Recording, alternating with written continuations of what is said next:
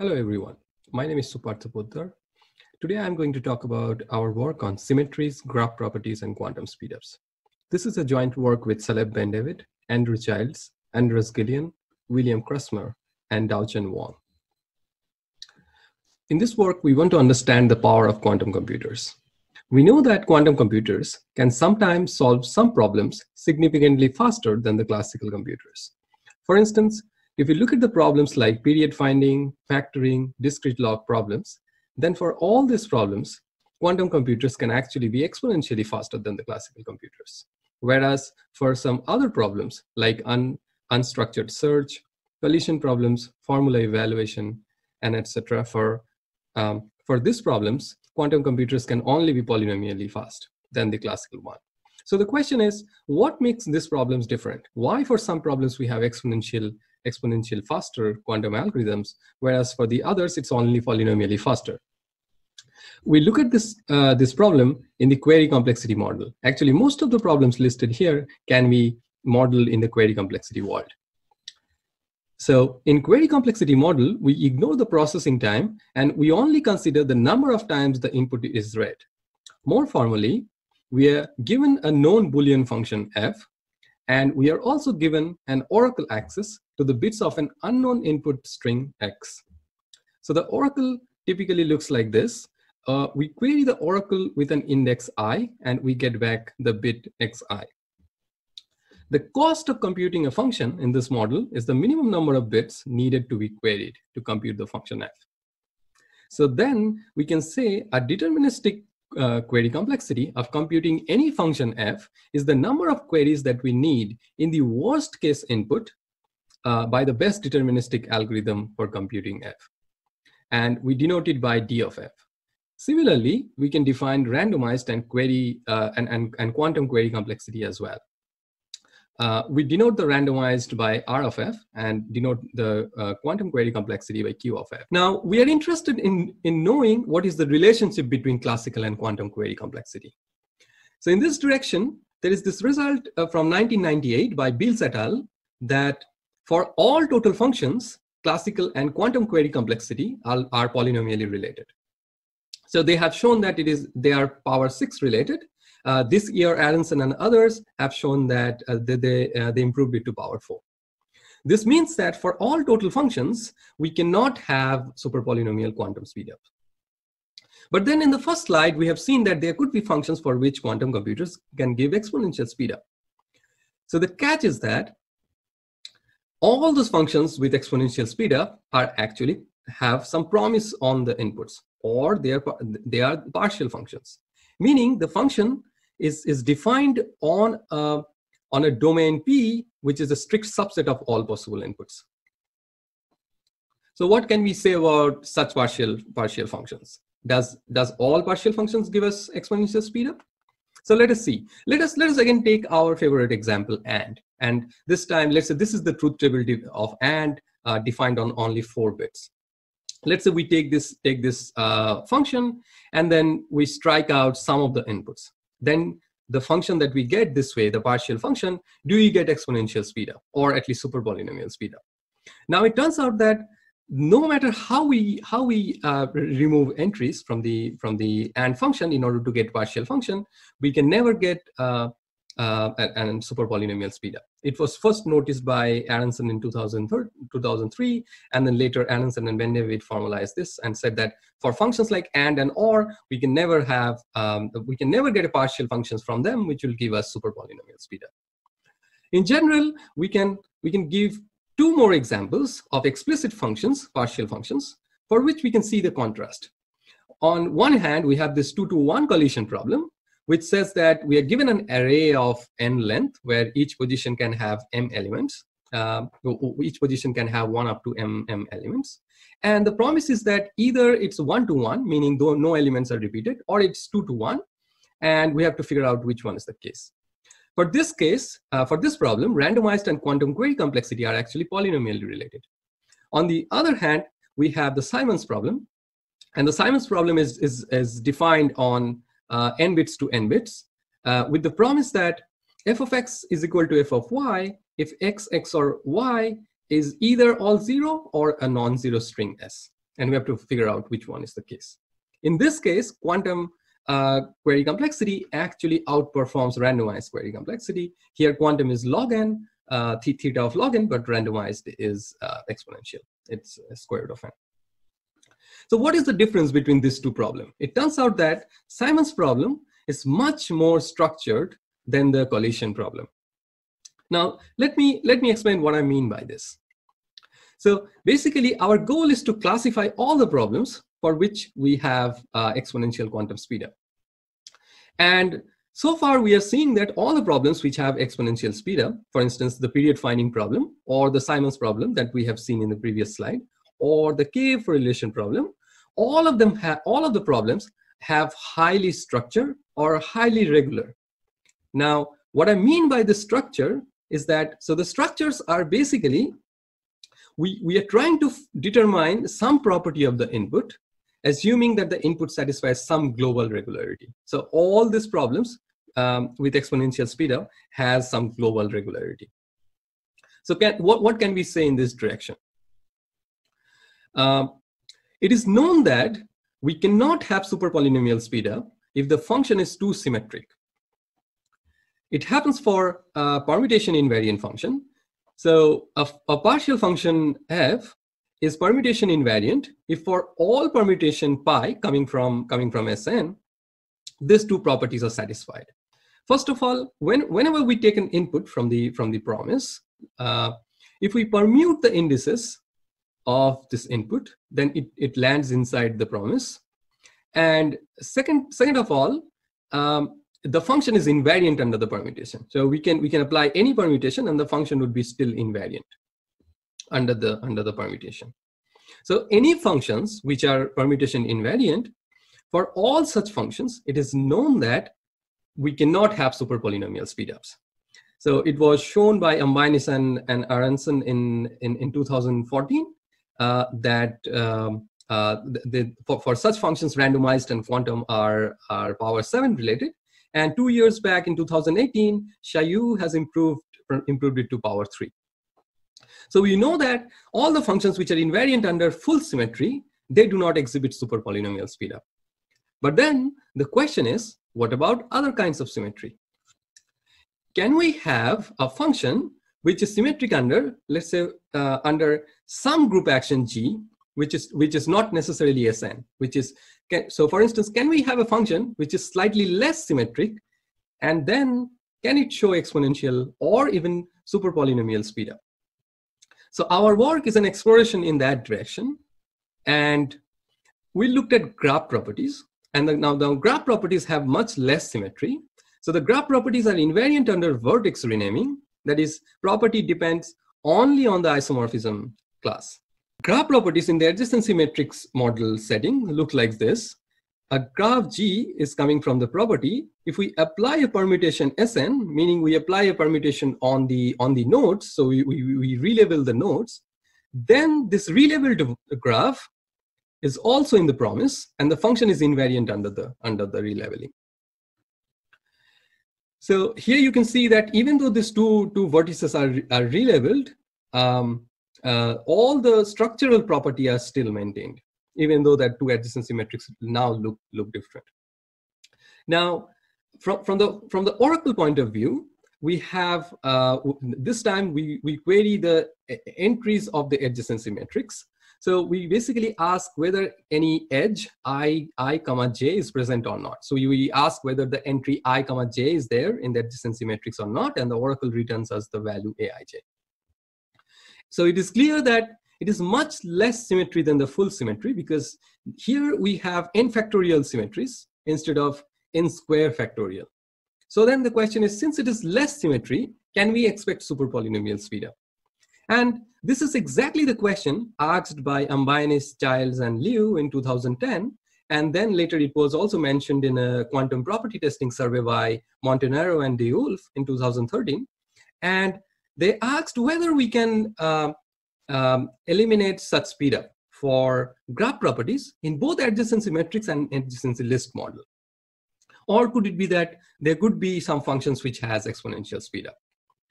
So our um, work on, in this direction, but note that they asked this question also specifically for graph property testing. They said that because the property testing problem has a specific uh, uh, feature that given any yes input and no input, they are epsilon far apart for, for, some, uh, for some fixed epsilon.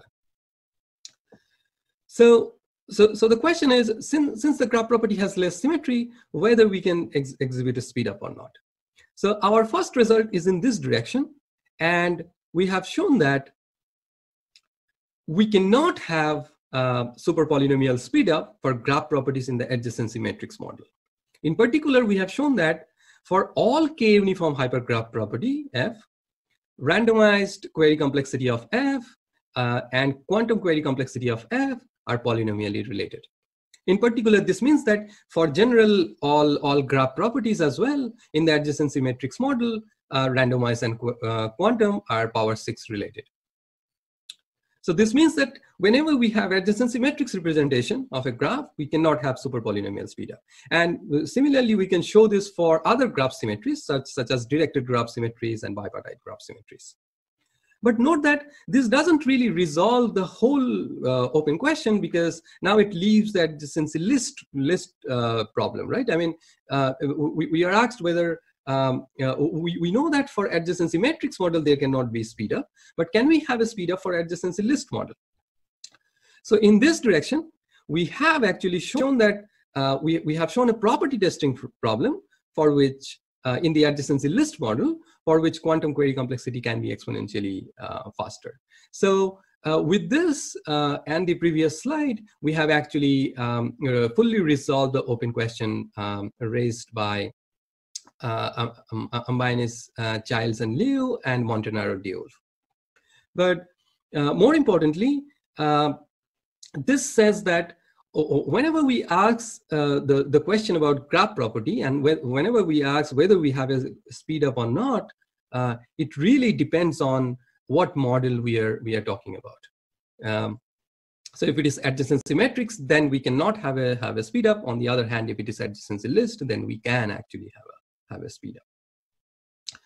The third direction that we explored is actually going deep down the rabbit hole uh, for other, other symmetries. We asked, okay, we, we, we now understand what happens for graph symmetries, but the question is, what happens for other symmetries? Um, so uh, can we classify all the permutation group, uh, group G such that function f invariant under G um, have polynomial relation between randomized and quantum query complexity? So our, our result in this direction is that um, all the we have shown that all the permutation groups uh, constructed out of hypergraph symmetries are essentially the only permutation group that prevents super polynomial speedup. And we did this by fully characterizing primitive permutation group. Um, we said that if G is primitive permutation, then the base size actually tells us whether we can have exponential speedup or not. So we said that if uh, the base size of g is n to the omega 1, then um, for all partial functions symmetric under g, they're polynomially related. On the other hand, if the base size is uh, n to the small o of 1, then we can always find the functions for which quantum and randomized are exponentially far apart. In the remaining time, time let me explain um, all, the, all the proof ideas. So the first result relied on Chailloux's proof. Now, Chailloux's proof uh, for, the, for the symmetric case relied on the fact that uh, if we have a function querying the input positions of, of, an, of an n-bit long string, since it's a symmetric function, we can, we can permute the indices first, and then we can um, send the permuted index to the, to the oracle, and still it doesn't make any difference because it's a, it's, the function is invariant under, under any permutation from Sn. But now this time consider a, small range function R. The question is, can we uh, replace this, this permutation pi by the small range function uh, alpha? In this direction, there is a theorem by Zhandry which says that uh, distinguishing a random small range function alpha with a range r from a random permutation pi from Sn requires omega r to the one-third quantum queries. So this means that if the task that we are performing on, this, on the symmetric function, if the quantum query complexity is q of f, then we can choose the range to be qf cubed and then the algorithm won't distinguish between these two cases. So we can replace this pi by this alpha. But then uh, even a classical algorithm can also query all those R locations that are produced by alpha because alpha as a small range. Uh, so, so a classical algorithm can, can pre, pre-process or all those R positions and every time an algorithm asks for any of the alpha I input, it can output it from those storage. So even a classical algorithm can simulate the quantum algorithm. So that's what that was the idea of Chailloux's proof. So we have taken that and we extended this for more general graph symmetries. We said that distinguishing, so we basically showed that distinguishing a random function with range R from this time a random permutation instead of Sn um, if it requires omega r to the 1 over c quantum queries, then quantum and randomize are power c related for every function f uh, symmetric under G. And we basically have shown this uh, via a reduction to Sn case. And note that, um, uh, so, so all our reductions are basically a reduction to, to Sn. So in a sense, it's, so it's a series of reduction to, um, to the Sn case. And note that uh, Chailloux's result in, uh, depends on this, this Zhandry's result, um, uh, this, the Zhandry's theorem.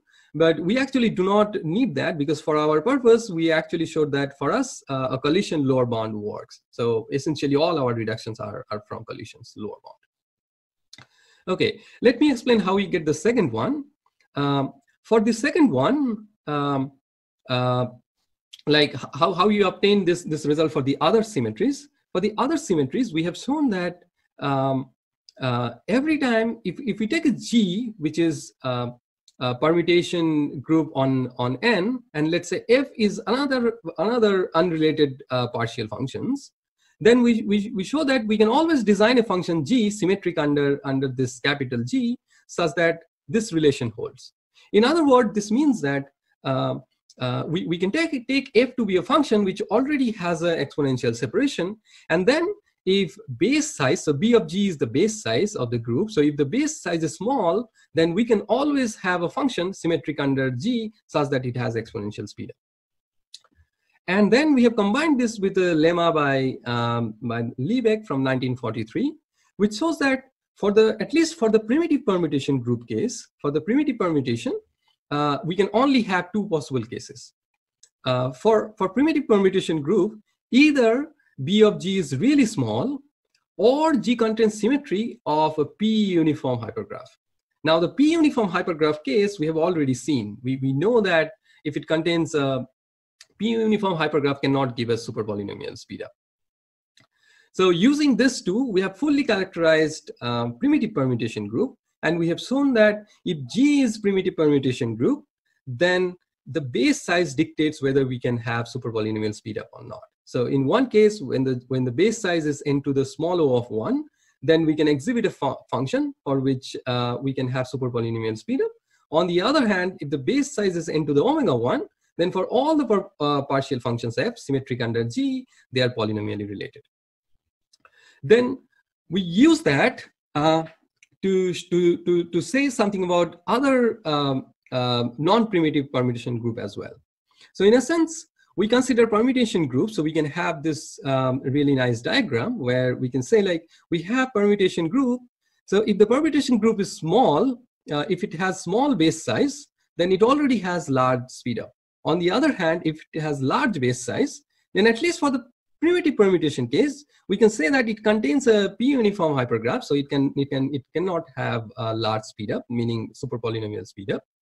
But if it is non-primitive uh, permutation, then we know that non-primitive permutations can be further decomposed into um, uh, transitive uh, transitive uh, uh, groups by just looking at their orbits, and they can be further decomposed into primitive primitive groups. So then we can look at like how many primitive groups are we, we are getting this way. Uh, so if if uh, the non-primitive permutation breaks up into um, uh, omega one many primitive permutation group, then we can show that we can we can obtain a large uh, uh, speed up. On the other hand, if the if they break up into constantly many primitive groups, then we can show that if any of them is, is small, if any of them has small base size, then we can show that um, there is um, there's a large uh, super polynomial speedup. On the other hand, for the other case, we do not know. So essentially, all the uh, uh, functions which are uh, which which might have uh, which, might not have a super polynomial speedup, they come from this case over here.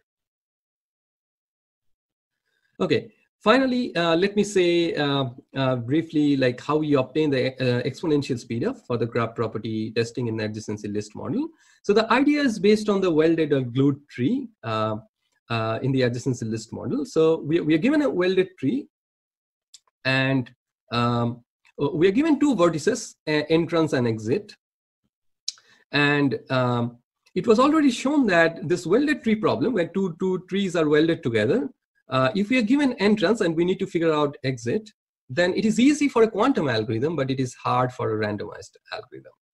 So we essentially take that construction, but note that this is not a graph property because here the entrance is given and uh, it really, the property really depends on uh, vertex leveling. So it's not a graph property. So we need to turn it into a graph property.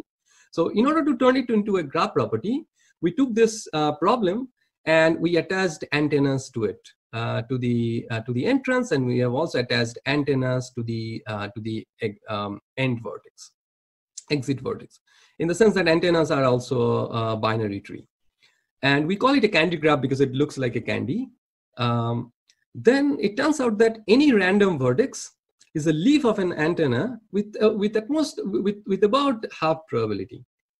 So uh, if if a vertex is a leaf of an antenna, then it is easy to find the uh, find find the root um, um, using so find the entrance um, easily, and then once once we find the entrance, it is easy for a for a uh, for a quantum algorithm to find find the exit. But um, even if it is easy to find the entrance, it is still hard for the classical algorithm. So this is a graph property for which uh, we can actually see an exponential speedup. Um, but the thing is that this is not a uh, not a graph property testing problem. So in order to turn it into a graph property testing problem, we um, needed a few more tricks. So basically note that the goal is to design a structure for the graph property testing such that this is quantumly efficient, but, classically hard uh, to distinguish even for even from an epsilon far graph. So in order to do that, uh, we used uh, some ideas such as we used many copies of the candy graph we have added advice edges and we let the quantum algorithm uh, test using those advice edges whether a vertex is a weld vertex or not. And yet, the advice needs traversing the welded tree, uh, which is hard for any classical algorithm. Now, the property testing comes from being able to classically uh, test an entire binary tree uh, given the advice. And note that this traversing candy graph is required to find advice about whether a vertex is in the weld because advice is encoded as parity of, of bits stored at the roots. So ensuring by, by doing all this, we ensure that um, uh, we get a property testing problem for which we have an exponential speedup. And finally, um, let me stop with two main open questions. The first of all is that we have shown this, this diagram uh, there is still one uh, uh, fine grain argument that we need to do in order to fully uh, characterize all possible um, permutation groups. So, so this is this is the single case that was missing. so what can we say about that? Can we fully characterize this case? And the second is, can we find um, an exponential speedup for another practical graph property problem? So this is this is really a toy example for which we are showing exponential speedup. But the question is, can we find a practical problem for which we still have the have the same same speed up? Um, thank you. Thank you so much for that's it. Thank you so much for listening.